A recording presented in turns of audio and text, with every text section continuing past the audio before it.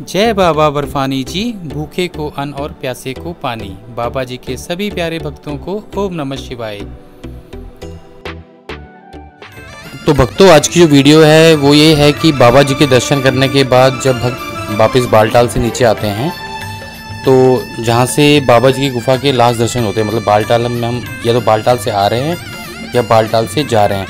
तो एक पॉइंट ऐसा है जहाँ से बाबा की गुफा नज़र आती है। तो वहीं पे ऊपर अगर हम जा रहे हैं तो राइट साइड में ऊपर, पहाड़ के ऊपर, अपने आप, पहाड़ में से एक मूर्ति निकली हुई है। तो जो भी पुराने भक्त हैं या जो पंडित जी हैं बताते हैं कि माँ काली की मूर्ति है और देख के रखता भी है। तो ये मूर्ति अपने आप निकली हुई है सूट पर तो जब आप वापिस जा रहे होते हैं, आ रहे होते हैं तो माँ काली के दर्शन करते हैं। तो मैंने भी अपने हर साल यात्रा में किए हैं।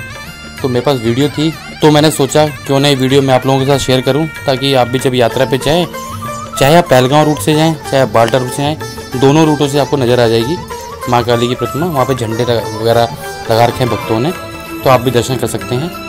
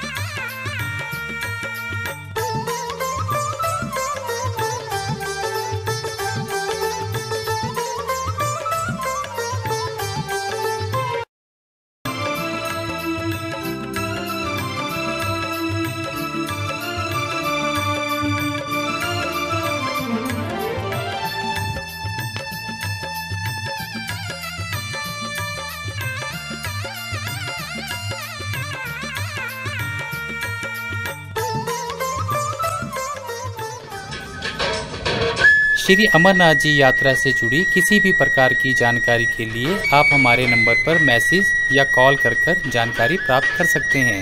भोले बाबा जी के आशीर्वाद से हमारी ये कोशिश रहेगी कि सही जानकारी और जल्द से जल्द आप तक पहुंचाई जाए। बाबा जी के सभी प्यारे भक्तों को ओम नमः शिवाय।